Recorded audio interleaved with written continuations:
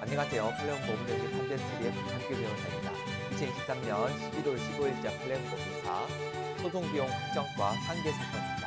어, 선고일은 2023년 9월 27일이고요. 어, 사건 번호는 2022-6885 결정입니다. 이 사건은 이제 소송 비용의 확정에 관한 어, 사건이고요. 어, 재항고인이 이제 신청, 신청인은 재항고인, 그러니까 신청인이 이제 대법원에 지금 재항고를 한 거죠. 어, 파기 환송됐습니다. 내용 한번 보시죠. 이 이제 피신청인이 원고가 돼가지고 상대방이죠. 상대방이 원고가 돼가지고 이제 신청인을 상대로 보증금 반환 청구의 소를 제기를 했습니다. 그러니까 지금 이 사건 지금 이 소송비 확정에서의 그 신청인은 원래 소송인은 피고였어요. 근데 법원은 일부 인용을 하면서 어, 피신청인 이제 원고 등이 60%, 그 다음에 피고가 40%를 각 부담한다는 판결을 석공해서 확정이 됩니다. 그러니까 이제 피고는 소송 그 40%만 부담하게 되어 있는 상태였죠.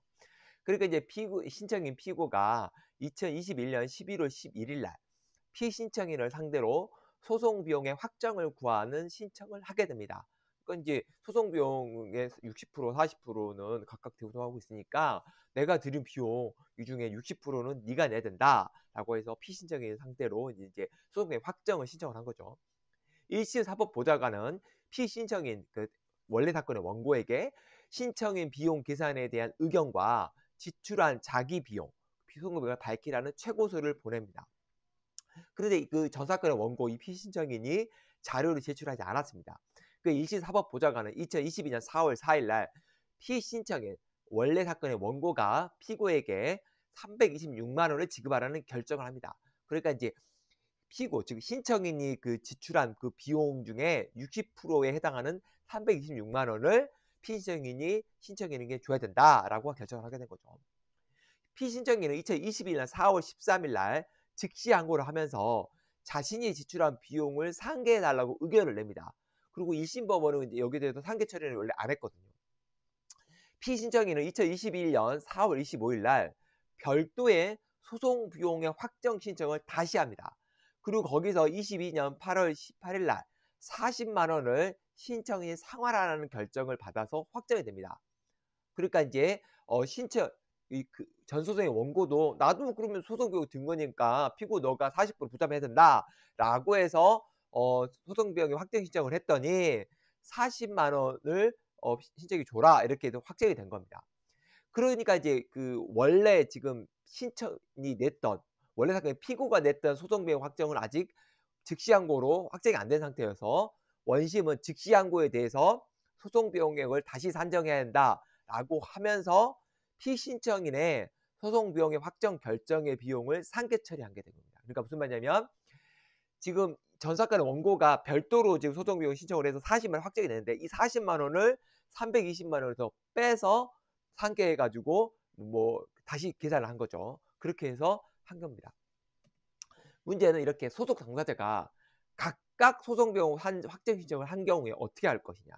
그러니까 원래는 지금 어, 피고가 낸 소송 비용 확정해서 원고가 자기 자료를 내면 되는데 안 냈기 때문에 안 내고 별도로 지금 소송 비용 확정 신청을 해서 확정이 된 겁니다.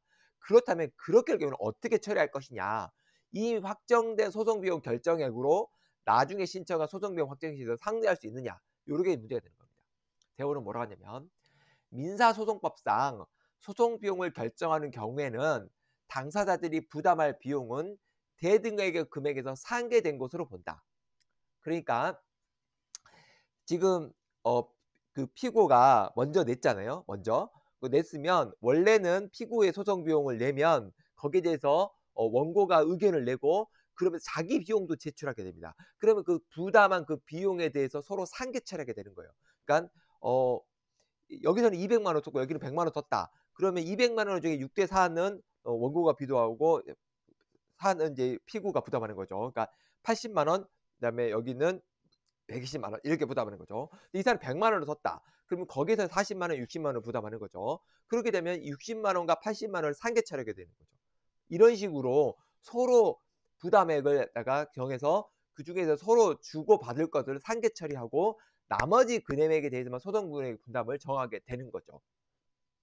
그래서 이 피신청인은 그런데도 이 원고가 자기의 비용 계상서와 비용을 제출하지 않고 신청인의 비용에 대해서만 분담금을 정할 수 있다는 겁니다. 그 제출을 안 하면 어쩔 수 없다는 거죠. 그리고 피신청인 원고는 별도의 소송비용 확정 결정을 신청할 수 있다. 이것도 가능하다. 그러면 이럴 경우에 즉 피신청인이 자료를 제출하지 않고 1심 결정이 이루어진 후에 그때 즉시 항고를 하면서 자료를 제출하면 이때는 함께 고려해야 된다. 왜냐하면 아직 항소심이 끝난 게 아니니까 그때 계산하면 된다. 하지만 별도의 소송 비용의 확정 결정을 신청해 확정된 때에는 그 비용은 상환해야 할 소송 비용의 상계에서는 안 된다는 겁니다. 정리를 하자면 동일한 절차에서 항소하면서 비용을 청구하게 되면 그 비용 내 범위 내에서는 서로 대등하게 범위 내에서 상계 처리하면서 끝낼 수 있다. 그런데 별도로 확정이 되어 있다면 그 확정된 금액을 다른 소송 비용에 확정할 때 같은 사건에 있어서 확정할 때 감안해서 상계세는 안 된다는 겁니다. 그래서 요거는 그냥 그 별개로 두 개의 확정으로 갖고 나중에 집행할 때만 상계 처리하면 된다. 그 말인 거죠.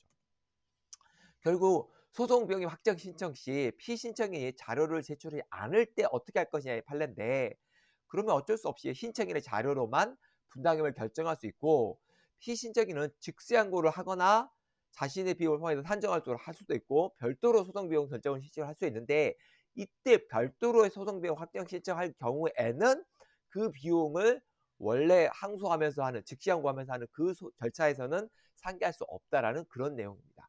이거는 이제 소송 비용 확정에 관련해서 어, 좀 약간 디테일한 내용을 담고 있고 어, 그 부분에 대해서 좀 절차적으로 정리할 수 있는 판례이기 때문에 한번 기억해 주는 게 좋을 것 같습니다. 이상 마치겠습니다. 감사합니다.